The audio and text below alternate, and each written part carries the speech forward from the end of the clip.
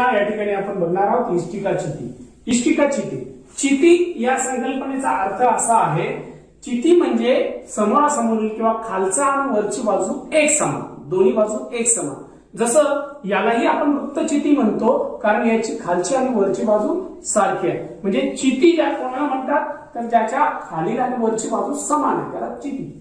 ही इष्टिका चिती आहे. इष्टिका चितीच्या आपल्याकडे भरपूर वस्तू असतात. खोके असतात. छोटे मोठे खोके आपण जे आहे हे खोके इष्टिका चितीचे आहे. ज्या औषधांना वगैरे येतात ते इष्टिका चितीचे आकाराचे खोके असतात. त्यानंतर वेगवेगळे पॅकिंगला येणारे खोके सुद्धा इष्टिका चिती असतात.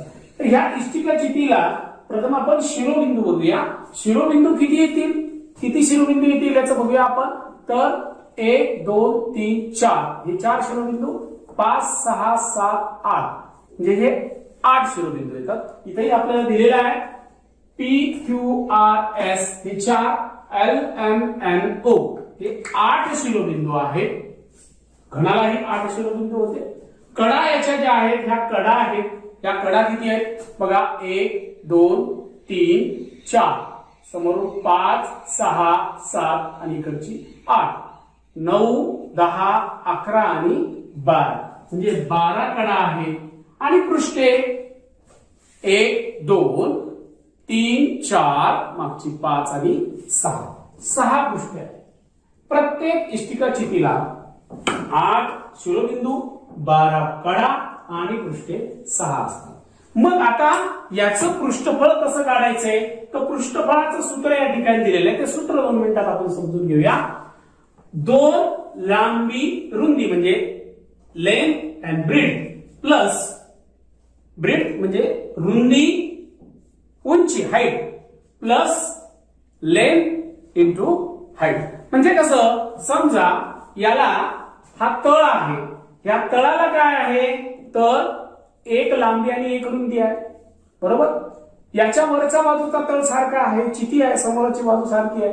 याला ही लांबी आणि रुंदी आहे. म्हणजे लांबी गुणिले रुंदी. याचं क्षेत्रफळ निघेल. लांबी गुणिले रुंदी याचं क्षेत्रफळ निघेल. म्हणजे दोन लांबी गुणिले रुंदी घेतलंय. म्हणून इथं दोन. दोन लांबी गुणिले रुंदी. ह्या दोघांचं झालं. आता ब्रीथ इन टू हाईट म्हणजे या ठिकाणी आपल्याला ब्रीथ रुंदी आणि हाईट इकडची बाजू. ब्रीथ रुंदी आणि हाईट याचं क्षेत्रफळ काढण्यानंतर काढायला रुंदी आणि उंची यांचं गुणाकार करावा लागेल. आणि त्याच्या समोरचाही तसंच रुंदी आणि उंची. म्हणजे रुंदी आणि उंचीचे हे दोन पृष्ठ आहेत. म्हणून रुंदी उंची दोनदा घेतलाय. आणि लेंथ आणि हाईट. म्हणजे आता इकडची जी समोरची बाजू राहिलेली आहे ती लेंथ आणि हाईट. इकडची पण ही लेंथ आणि हाईट. लेंथ आणि हाईटचे दोन पृष्ठ आहेत सारखे. म्हणून लेंथ आणि हाईटचे दोन. मग या सर्वांचं क्षेत्रफळाची आपल्याला बेरीज या ठिकाणी करायचं आहे म्हणून या ठिकाणी सूत्र तयार झालेलं आहे. Two L into B plus B into F B into H plus L into H. आता आपण या ठिकाणी सूत्र टाकूया. लांबी दिलेली आहे आपल्याला. दहा सेंटीमीटर. रुंदी आहे पाच सेंटीमीटर आणि हाईट आहे सहा सेंटीमीटर. ते सोडून घेऊया आपण दोन कंसात लांबी आहे दहा गुणिले रुंदी पाच. बरोबर? अधिक रुंदी आहे पाच गुणिले उंची आहे सहा. बरोबर? अधिक लांबी आहे दहा गुणिले उंची सहा. बरोबर? आता यांचं सोडून घेऊया. दोन.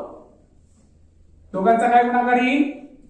दहा पाचे पन्नास. अधिक पाच सख तीस अधिक दहावी सख सात ठीक आहे? दोन गुणिले त्यांची बेरीज करून घेऊया. शून्य शून्य शून्य सहा तीन नऊ. नऊ पाच चौदा. एकशे चाळीस. आता या दोघांचा गुणाकार करणार आहोत. बे शून्य शून्य बे चोक आठ आणि बेक बे. म्हणजे या ठिकाणी दोनशे ऐंशी चौरस सेमी. सेमी दिलेला आहे म्हणून सेमी. दोनशे ऐंशी चौरस सेंटीमीटर याचं पृष्ठफळ निघालं.